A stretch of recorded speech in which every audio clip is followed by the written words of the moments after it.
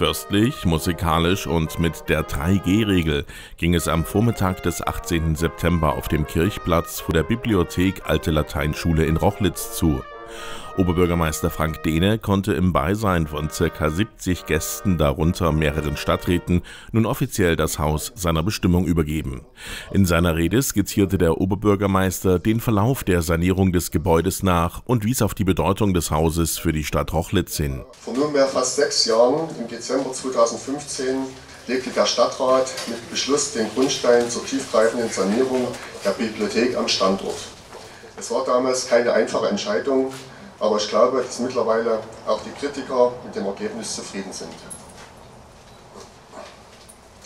Gerade im Hinblick auf die besondere Funktion als Bildungsstandort ist eine moderne Bibliothek ein wichtiger Baustein im Gesamtgefüge der urbanen Infrastruktur. Aber auch aus städtebaulicher Sicht und Aspekten des Denkmalschutzes konnte es eigentlich keine andere Entscheidung geben. Ohne diesen Schritt, hier in den historischen Gemäuern der alten Lateinschule die Bibliothek zu erhalten, hätte es für das Gebäude kaum eine aussichtsreiche Zukunft gegeben.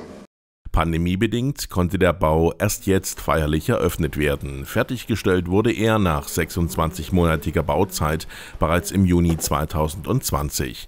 Am 7. Juli nahm die Bibliothek den Betrieb auf. Entstanden ist mehr als eine moderne Bücherei für rund 26.000 Medien.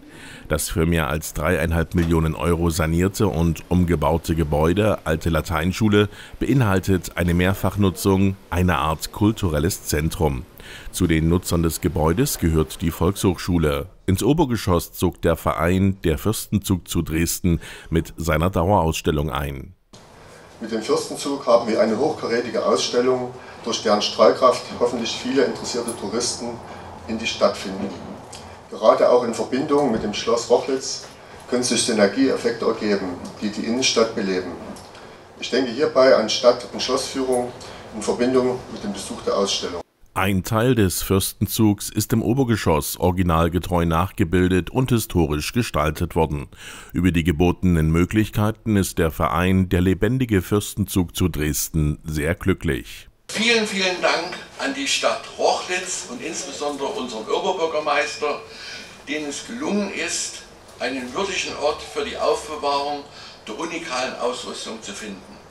Das hat uns insbesondere bestärkt, auch für die weiteren Jahre voll mit unserem Verein hier weiter tätig zu werden. Aber es ist nicht dabei geblieben, dass man uns nur in Ort zur Verfügung gestellt hat.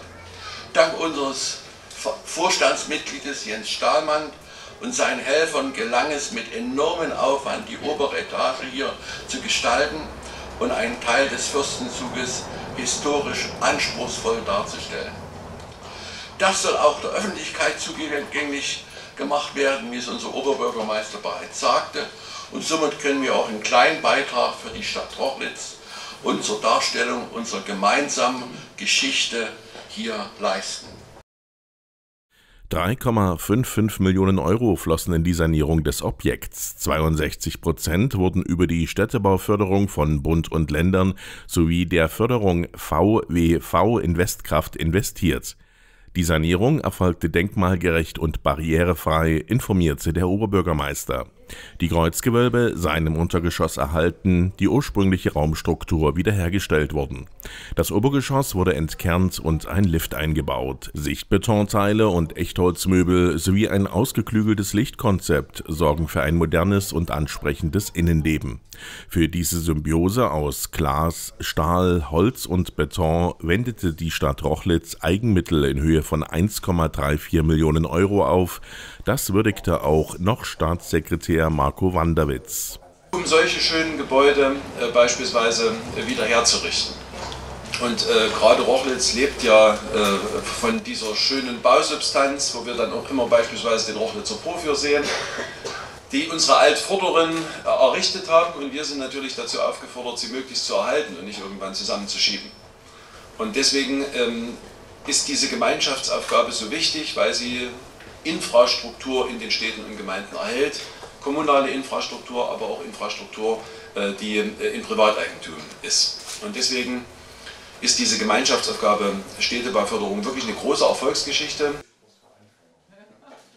Im Anschluss an den Festakt und beim Tag der offenen Tür am Sonntag konnten sich die Gäste im Haus umschauen. Die Volkshochschule Mittelsachsen wird hier in ihren Räumen Kurse durchführen. Und natürlich lockte die Ausstellung über den Fürstenzug die Gäste ins Dachgeschoss der Bibliothek. Sie kann während der Öffnungszeiten der Bücherei und auch am Wochenende besichtigt werden. Die Bibliothek aber ist das Herzstück im Gebäude Alte Lateinschule.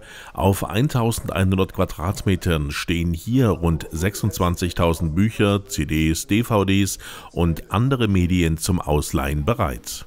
Grund zur Freude gab es nach dem Festwochenende, als bekannt wurde, dass der Bibliothek Rochlitz am 24. Oktober der Sächsische Bibliothekspreis verliehen wird